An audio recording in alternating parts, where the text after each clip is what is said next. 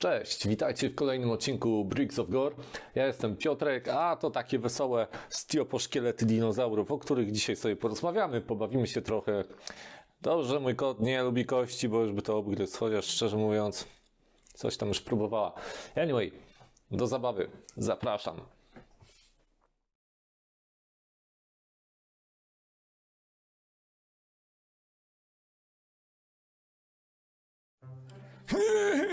No to tam. Pewnego razu na jurajskiej polance trójka przyjaciół, tyranozaur Andrzej, e, triceratops Andrzej i pterodaktyl też Andrzej siedzieli sobie, stali i ogólnie spędzali czas ze sobą, rozmawiając o takich prawdziwych, życiowych, dinozaurowych sprawach, prawda? Ej, Cześć chłopaki, co tam u was? No to zacznę, że tak powiem, e, symbolicznie. Czy oglądaliście mecz? Tak, Andrzej, ty, ja mu coś chyba odwaliłem. Nie, ja rozumiem, że mamy jakąś erę jurajską, ale stary, my nigdy mecz nie oglądamy. Co ci tutaj wzięło na mecze? No, bo ja tak sobie właśnie myślałem, że a, wiecznie rozmawiamy, wiesz, tą trawa, palmy, wulkany, strajki, blokady i w ogóle no chciałem coś nowego wrzucić do naszego pożycia, że tak powiem, w trójcy. Ty, ty, ty, ty, ty, ty, ty, ty, ty jak pożycie, jakie pożycie? Ej, to jest normalne, kulturalne, jurajski dom, ja nie wiem o co ci chodzi z tym pożyciem, weź się ten, to mogą oglądać pisklęta. Ty, właśnie, no. dobra, no to ten. No to, no to chłopaki, no jak tam palmy i te, te całe chwasty tutaj, to znaczy te zielone takie. O, super, super, fajnie, jo, mm, bardzo ładnie, tak, tak, tak, tak, super, super, fajnie, że pytasz, no, no, podobają mi się ogólnie, są fajne, tak, no, super. Mhm, No, w sumie mnie też się podobają właściwie, nie wiem skąd takie nowe tematy, chciałem być modny, ale w sumie stare to dobre, tak. I tak sobie nasze zwierzątka rozmawiały, aż nagle przeraził je wielki ogień.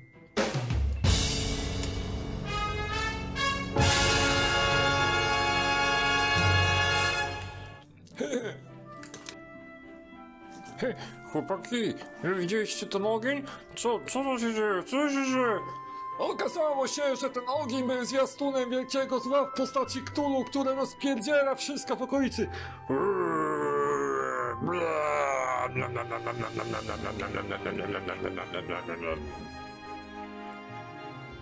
I tak oto wyginęły dinozaury, a po ich wyginięciu, jak widzicie, zostały bardzo ładne stioposzkielety.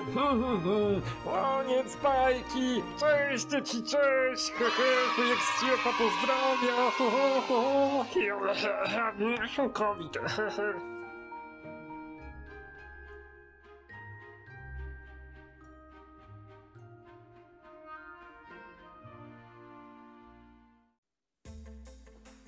No, Ach, już niedługo Mikołaj, święta, znowu zaczniemy zbierać śnieg do miednicy na pyszny solnik. Mm, mm, mm.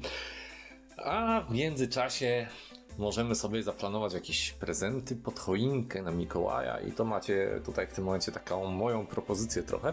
Nie jest to odcinek świąteczny, nic z tych rzeczy, tylko tak mi się skojarzyło, bo wiecie, hej, każda okazja jest dobra, aby wymusić, wyłudzić, tudzież poprosić, albo samemu sobie spre- sprezentować, o trudne słowa, e, rzeczy z Lego, rzeczy z Lego, no w sumie rzeczy. No, Lego robi już tyle tego, że ojoj, Lego robi tego, a nie czyja grymuje, także e, wróć i tematem dzisiejszego odcinka. Są Lego, szkielety dinozaurów, Lego Ideas, numer katalogowy 21320, bla bla bla. Wszystkie te rzeczy możecie sobie znaleźć na necie. Jestem leniwy, nie będę robił do tego cudownych animacji. Także lecimy z koksem. Sporo tego.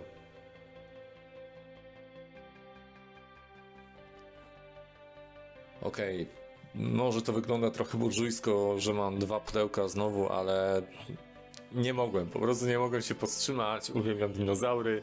Ten model jest niesamowity, nie tylko dla mnie, ale też dla wielu osób, ale no po kolei, po kolei. Tak to wygląda po zbudowaniu. E, mamy trochę tutaj też pierdółek do zabawy, więc naprawdę twórcy tego byli tak szczodrzy, że aż och, łezka wokół się kręci. Ściskają zwieracze i w ogóle mm, dziękuję za to, że Lego wypuściło ten zestaw, jest super. No, ale do rzeczy. E, zaczniemy od kartonów, jako że makulatura i inne rzeczy tam nam się przydadzą. Mm, do dzieła. Okej, pudełko, pudełko. E, no, tak wygląda pudełko. Troszkę zakurzone, ale wiecie, no szkielety muzea kurz musi być. Bardzo ładne pudełko do eksponowania na półeczce nawet. Mm, jeśli chodzi o tył, no nie mamy już tych starych, fajnych rzeczy, jak były w dawnych pudełkach, a właściwie... A czekajcie, ruszę tyłek.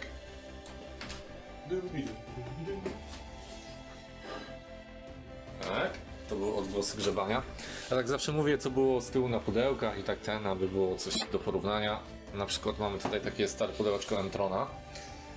No i jak obrazek pokazuje, można było zbudować to, to, to, to, to. Instrukcji nie mam, człowieku domyśl się, czyli dzieci mają zabawę, rodzice mają spokój i tyle, nie? Także tak, stare pudełeczka, ojejku, też miał tu urok, otwieracie, to są jakieś tutaj a, przegródki, inne, rzeczy. ale to jest temat na inny odcinek, także koniec tego wkurzania ludzi, którzy lubią M-trony i pudełka M-tronów. Tak, pudełko. Jest bardzo ładne do eksponowania. Z boku Dinusie, nasz e, ten minifig, inne tam pierdółki. No, także spoko to wygląda. E, ale jeśli chodzi o zawartość pudełka, mm, czekajcie, otworzę to. Te. E, części zapasowe. E, otrzymujemy separator o smaku. Dobra, nie wiem, krabokoli coli. E, śmieci. Więcej śmieci. E, jeszcze więcej śmieci. A skąd mój tu zaatakuje? E, instrukcje. Instrukcja do Triceratopsa. Instrukcja do Pterodaktyla. E, tak. I instrukcja do Tyrannozaura. Ogólnie bardzo ładne książeczki. Tak, tak, tak, tak, tak. Każda się zaczyna jakieś tam. A nie, nie, nie każda się zaczyna jakimś wspomnieniem, ale ogólnie bardzo ładne. Makulatura, e, makulatura idzie na chwilę na ziemię, to znaczy na podłogę. Co jeszcze tu mamy? No, W sumie naklejki. O, gdzieś tu były. Czekajcie, bo Piotr. O. Piotras oczywiście jest maniakiem naklejek. Dam, dam, dam, dam. Dam, dam, dam, dam. Chodźcie. No, naklejki wyglądają tak. E, są tutaj te całe plakietki na opis, co to za dinozaur, plus pierdółki do książeczki, czyli tam Lego coś tam i ten, to można sobie ponaklejać. E, plus to jest też taka plakietka na nasz szkielecik Indiana Jonesa. Swoją drogą fajny easter egg, ale to do tego dojdziemy. No, to tyle w pudełku, ja to teraz troszkę posprzątam i zaczniemy się bawić minifigurkami. Mhm.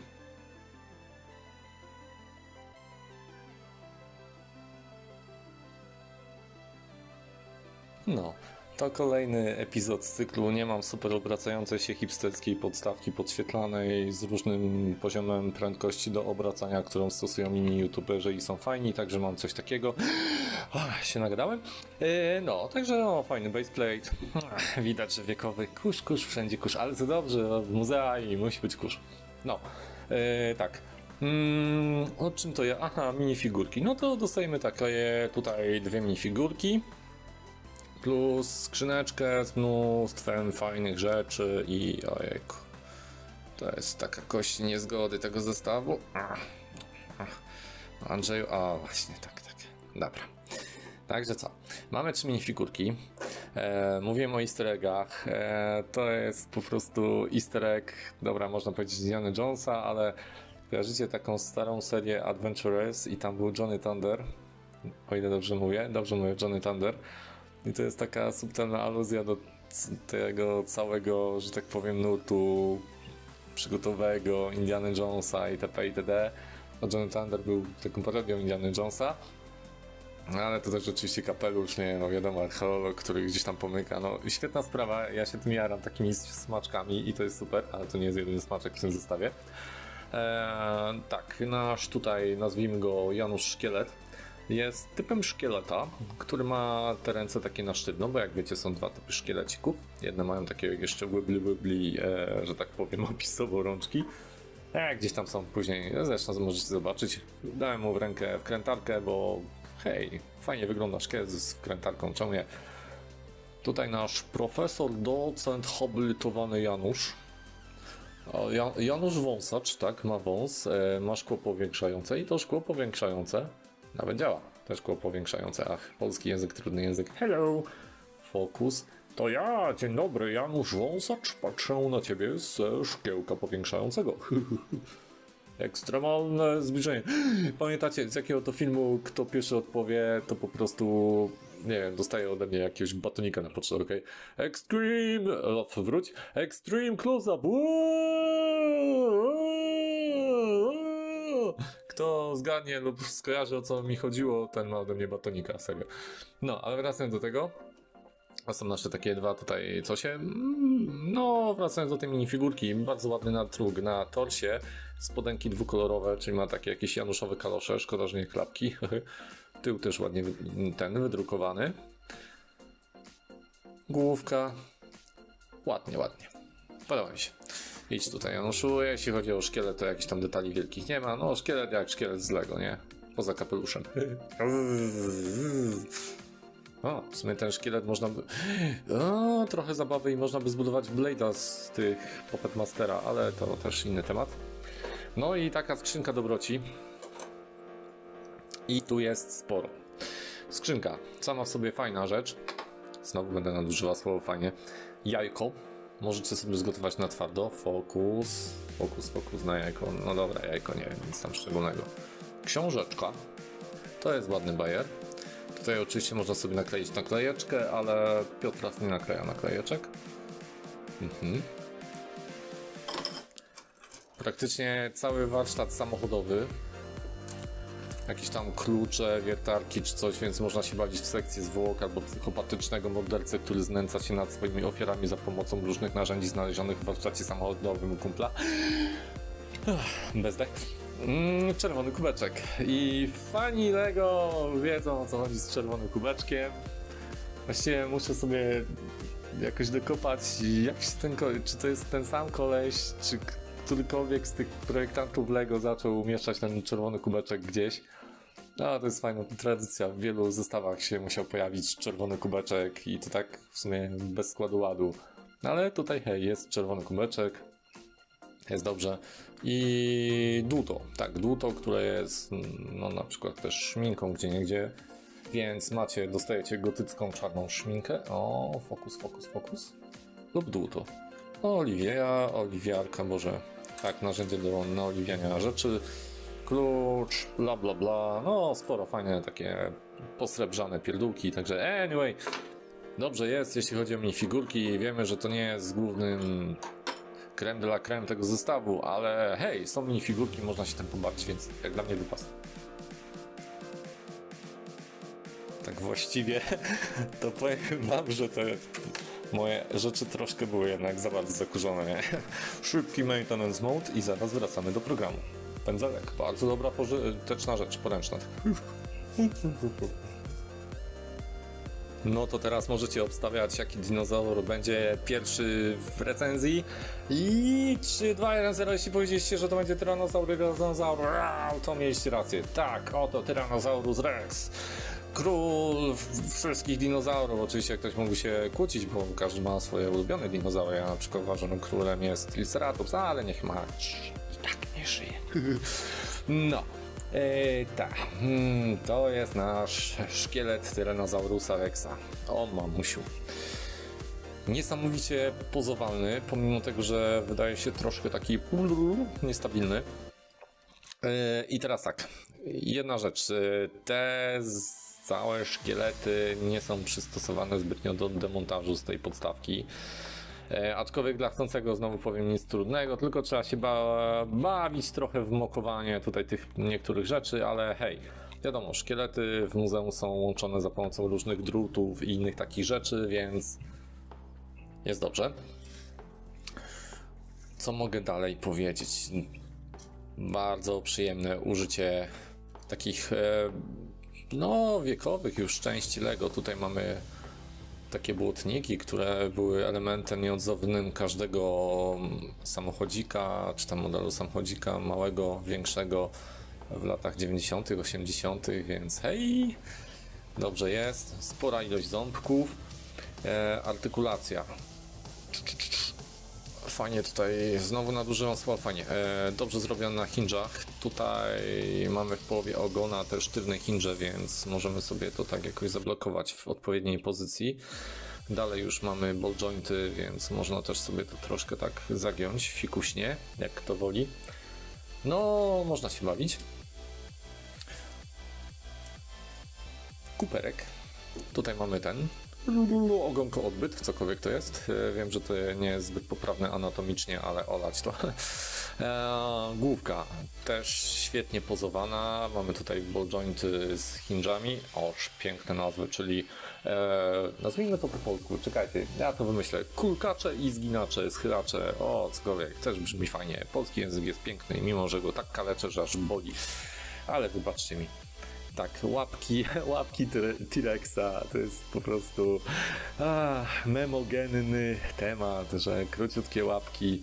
I czy Tyrannosaurus Lego może coś z nimi zrobić? Wiecie o co mi chodzi? No, no nie, nie, niezbyt, niezbyt, ale to teraz nie będzie zbyt e, pisklęto przyjazna rzecz, co zrobię.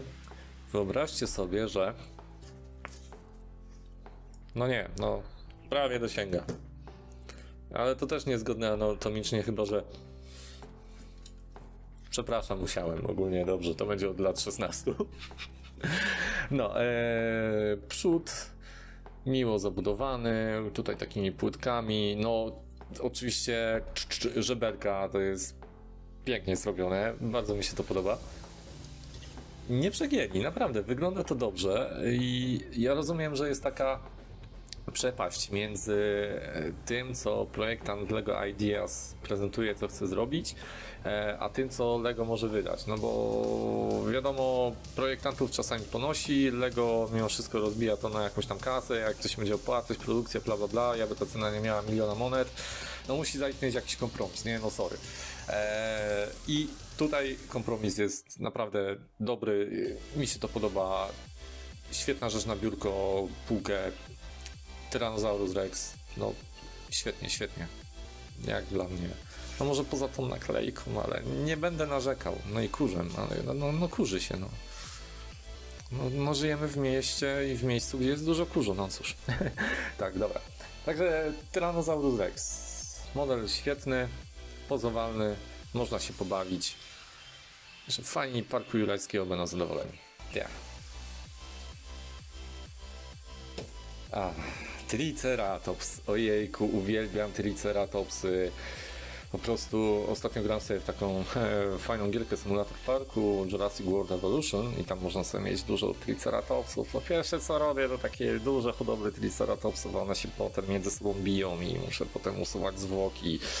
I to nie to, że im robię Battle Royale Triceratopsowe, czyli Triceratopso Royale, ale one po prostu tak mają, że jak ktoś wkurzy to szarża, tu, tu, tu i nie ma, nie? To są takie bardzo, bardzo fajne zwierzątka. No, ale tak, kolejny szkielet Triceratopsa.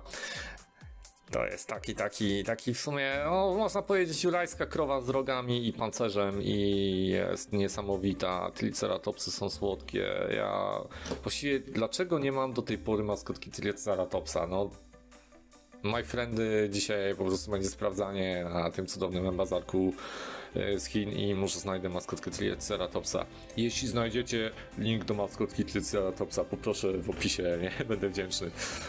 Płacę nie wiem, w wirtualnych szelkach i tyle. No, nic więcej. Mogę oddać ziemniaka jeszcze zaoferować, bo już batonika zaoferowałem, więc nie mogę być rozrzutny. Pójdę z torbami. Kot mi powie, ty, ty, ty wydajesz na YouTube ludziom, a mi karmy nie kupujesz. No, tak będzie zginę we śnie. Eee, koniec dygresji, ja mam dzisiaj jakiś ADHD. Ale tak to jest, jak człowiek zaciesza dinozaurami, jest dobrym humorze, prawda? Tak.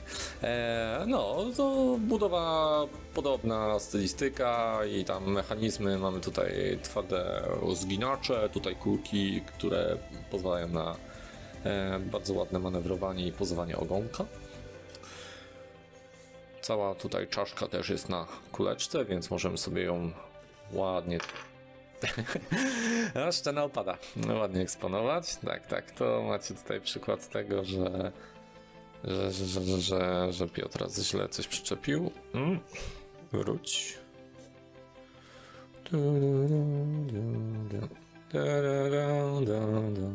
Zaraz mnie. O, prawa autorskie coś tam. Ten, nie wiem, czy dobrze przyczepiłem, ale niech będzie. To jest mój Triceratops. No. E, no i to jest fajne do pozowania, bo jako takiej zabawy, no to troszkę się to tak może rozpaść, ale jest dobrze. E, grzebień tutaj cały i ten pancerzyk świetnie zrobiony. Podoba mi się. Można było poszaleć, ale znowu mówię, kompromisy, nie? Żeberka, tutaj, tutaj zakończenia kości, rogi. No, no triceratops, ludzie, no. Znowu mamy tutaj jakieś takie cz, cz, cz, e, błotniczki. Od spodu to tak. O, od, o, o, o. No, no, no, znowu mi się coś odczepiło, no ale no, widzicie, nie? Do zabawy to zbytnio nie jest ale wygląda naprawdę świetnie. Jest im jedno. O, to jest tyłek kościanego Triceratopsa z Lego. Jeśli mówicie, że nie widzieliście w życiu wszystkiego, to już możecie powiedzieć, że widzieliście przynajmniej jedną rzecz więcej. Tak, tyłek kościany Triceratopsa. Tu, tu, tu, tu, tu. Lub ładnie powiem anus kościany. O, tak. Gory bawi i uczy. No, to Triceratops, król dinozaurów. Nie będę się na tym rozwodził, bo jest świetny, mi się podoba i ogólnie Możecie powiedzieć, że nie, ale to wasze zdanie ja tak powiem, że jest piękny. Dobry puszek, dobry. Och nie, jest wielki niczym Bottle Ship. Haha, znowu aluzja do starego filmu. Hihi. Eee, tak. Pterodaktyl, pteranodon, latający dinuś. Kolejny szkielet, najmniejszy z tego wszystkiego, ale nie najgorszy. Ładnie zrobione skrzydełka, Mamy tutaj takie też sztywne zginacze. Ogonek. Tak, można by to zdjąć i użyć ogonka z obrót... Nie, nie idźmy w tym kierunku, bo to zaraz się zrobi niebezpieczne. E, to jest nasz pteranodon. On jest na takim tutaj słupeczku wbitym w tyłeczek. Biedny. E, dziób się jako tako niezbyt od... No, da się, da się, co ja mówię, że się nie da. No, pomyliło mi się. No, możemy mu rozdziabić dziobek. Możemy go pozować. Ball joint jest tutaj, więc przydałby się jeszcze jeden, ale jest ok.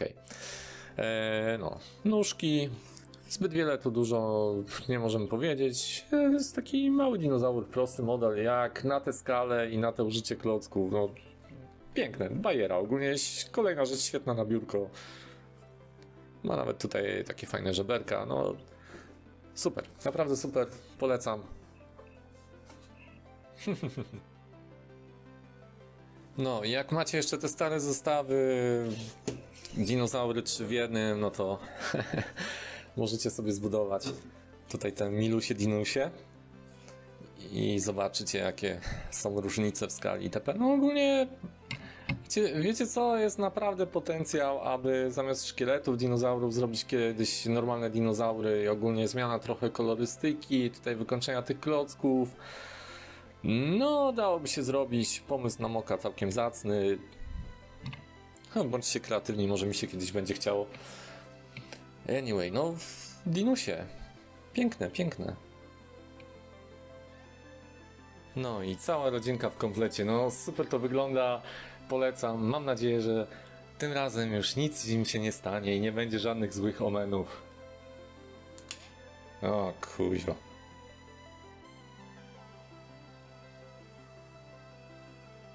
Autobot Skylynx. Tyranozaur o wielu imionach, innymi Andrzej. Oraz klasycznie soczek. Nie, nie, nie, nie, nie. No to co mogę więcej powiedzieć o tych szkieletach? Zestaw jest niesamowity. Da wam sporo frajdy zbudowania. Nie jest to takie proste do budowy, więc jeśli chcecie swojej młodej pociesze, czy tam potomkowi, potomkini, potomkowowi, tak, y, sprawić coś takiego, no to troszkę będziecie musieli chyba pomagać, ale dla chcącego nic trudnego. E, sporo białych klocków, jak ktoś lubi białe aryjskie klocki. No cóż, e, potencjał tego zestawu. E, jest już pełno instrukcji, nawet przez Bricklink Studio możecie sobie zaciągnąć. E, jak można zbudować więcej szkieletów, jakieś stegozaury, pacyfalozaury i inne takie cudowne rzeczy. Także zestaw ma potencjał, jest wart swojej ceny, dostajemy mnóstwo klocków.